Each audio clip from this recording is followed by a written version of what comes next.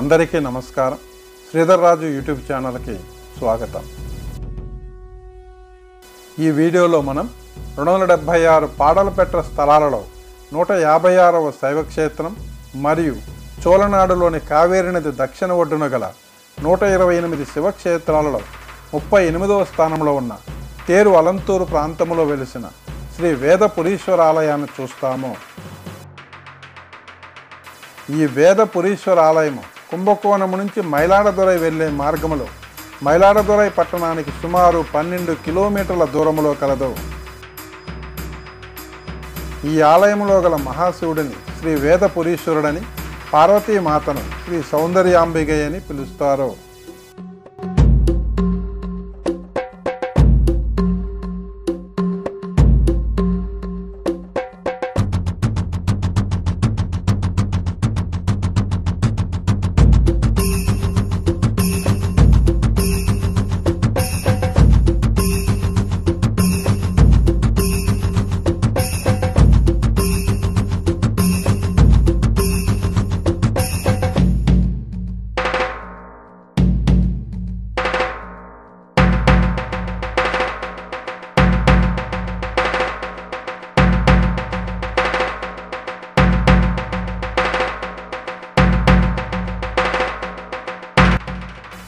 ఆలయ కోనేరును వేద తీర్థం అంటారు. ఈ ఆలయ స్థల వృక్షము బిల్వ వృక్షము.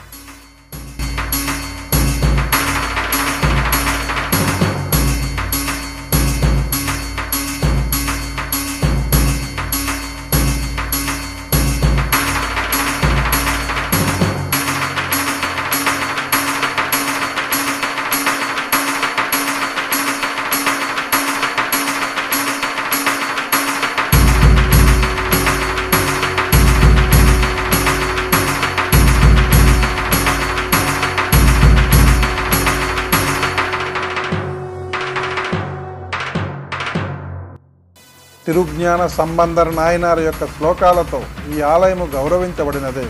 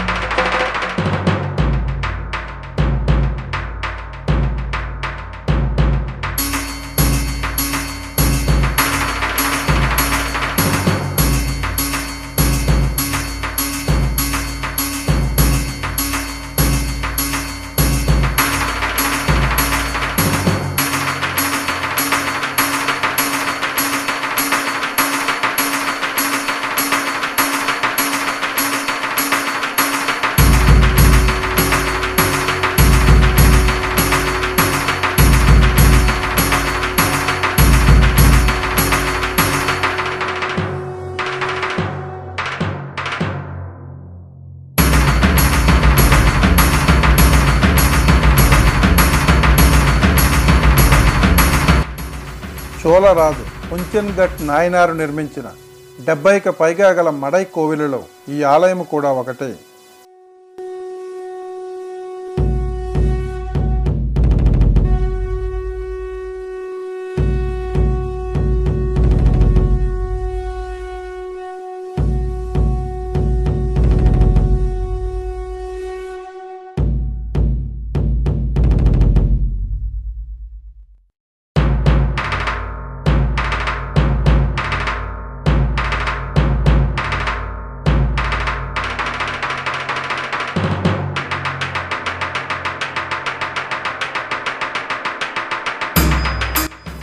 ఈ ఆలయంలోని శివుడు స్వయంభవమూర్తి.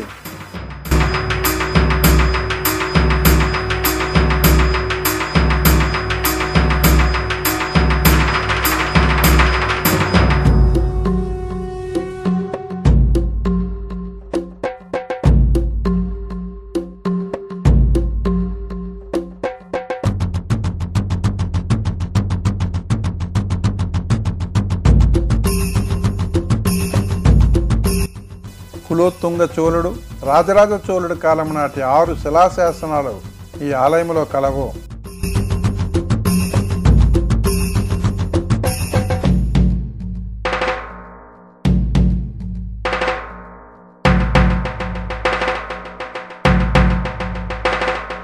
కావేరీ నదికి ఇరువైపులా ఉన్న ఏడు శివాలయాల స్థల పురాణాలు ఒకదానితో ఒకటి సంబంధాలను కలిగి ఉన్నాయి. అవి ఈ తేరలందూరు ఆలయ ప్రాంతములో పార్వతీమాతను శివుడు శపించగా ఆవుగా మారి భూలోకానికి వచ్చింది. పార్వతీమాతకు సహాయపడడానికి మహావిష్ణువు పశువుల కాపరి రూపంలో మారాడు. తిరుకోలంబం ఆలయ ప్రాంతములో ఆవు రూపంలో ఉన్న పార్వతీమాత శివుడిని పూజించెను. పూజా సమయంలో ఆవు డెక్క శివలింగానికి తాకింది. ఇప్పటికీ ఆ గుర్తు శివలింగం పైన కలదు.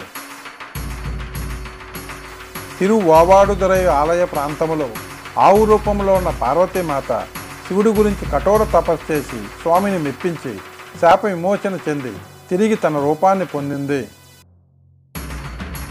కుత్తాళము ఆలయ ప్రాంతములో భరత మహర్షి యజ్ఞము చేయగా పార్వతీమాత శిశువు రూపంలో అగ్ని నుండి వెలుపలికొచ్చింది. భరత మహర్షి ఆమెను కూతురుగా స్వీకరించి పెంచాడు. ఎతిర్ కోల్పోడి ఆలయ ప్రాంతములో భరత మహర్షి మహాశివుడిని తన అల్లుడుగా అంగీకరించాడు. తిరువెల్వికుడి ఆలయ ప్రాంతములో శివపార్వతుల వివాహ మహోత్సవం జరిగింది. తిరుమనంచేరి ఆలయ ప్రాంతములో శివపార్వతులు వారి వివాహ దర్శనాన్ని ప్రజలకు అందించారు.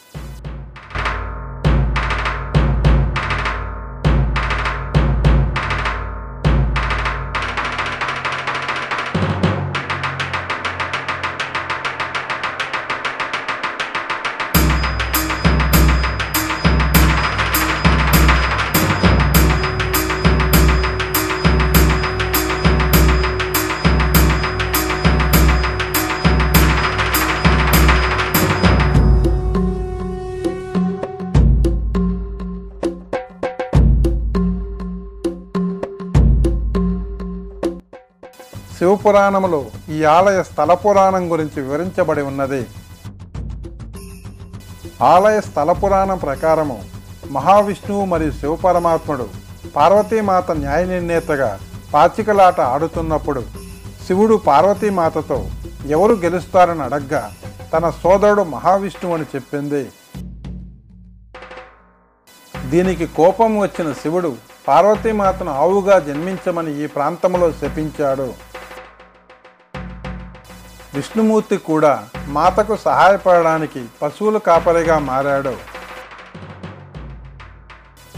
పార్వతీమాత తనను క్షమించమని మహాశివుడిని అడగ్గా తొందరలోనే శాప విమోచన జరుగుతుందని తను కోరిన విధంగానే భూలోకంలో వివాహం చేసుకుంటానని సెలవిచ్చాడు.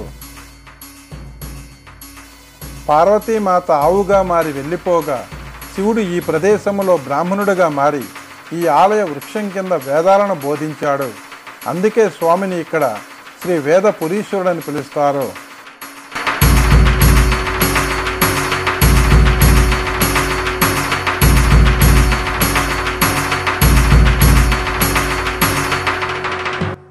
దేవతలు అష్టదిక్పాలకులు అగస్యుడు కావేరి నది ఇక్కడి స్వామిని పూజించి దర్శన భాగ్యాన్ని పొందారు.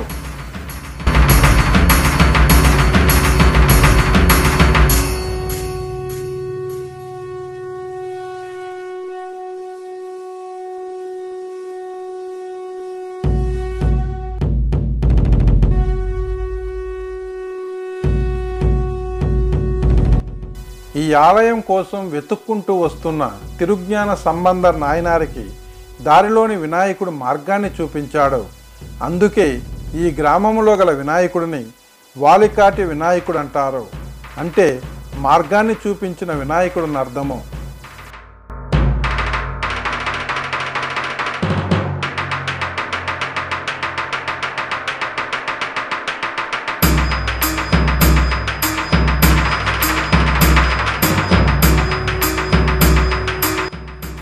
శివపార్వతుల మందిరాలే కాకుండా వినాయకుడు సుబ్రహ్మణ్య స్వామి అగస్తియర్ మార్కండేయుడు భైరవేశ్వరుడు చండికేశ్వరుడు యొక్క విగ్రహాలు కలవు.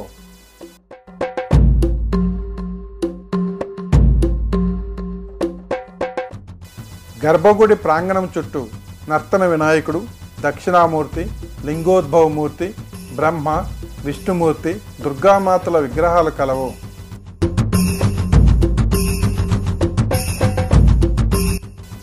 మహావిష్ణువు కోసము ప్రత్యేక మందిరము కలదు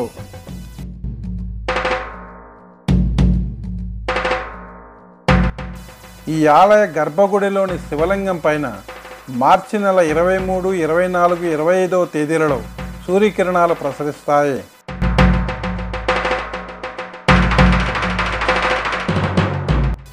ఈ ఆలయము చోళరాజు కొంచెన్గట్ నాయనారు నిర్మించిన మడక్కోయిలు కనుక ఆలయ ప్రధాన మందిరానికి చేరాలంటే కొన్ని మెట్లు ఎక్కి వెళ్ళాలి. ఆలయ గర్భగుడి ప్రధాన ద్వారము ఏనుగు ప్రవేశించలేనంత ఇరుకుగా ఉంటుంది.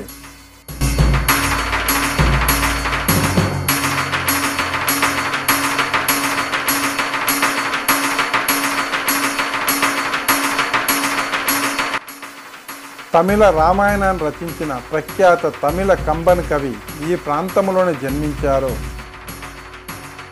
కంబన్ కవి నివసించిన ఇంటిని ప్రస్తుతం కంబన్ మేడు అని పిలుస్తూ పురావస్తు శాఖ ఆధీనంలో కలదు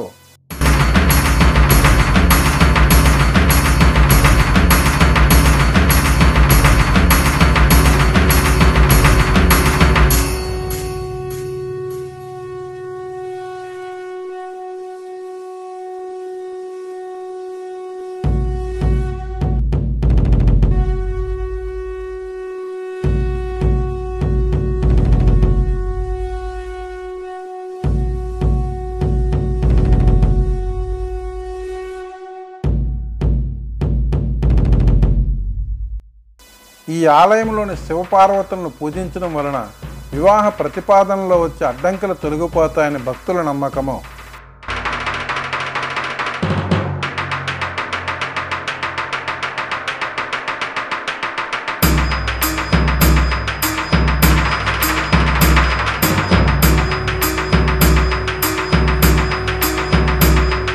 అత్యంత ప్రాచీనమైన ప్రసిద్ధి చెందిన తేర్ అలంతూరు ప్రాంతంలో గల శ్రీ వేద పురీశ్వరాలయాన్ని ప్రత్యక్షంగా దర్శించి అక్కడ విశేషాలను మీకు అందించడం ఆనందంగా భావిస్తూ మీ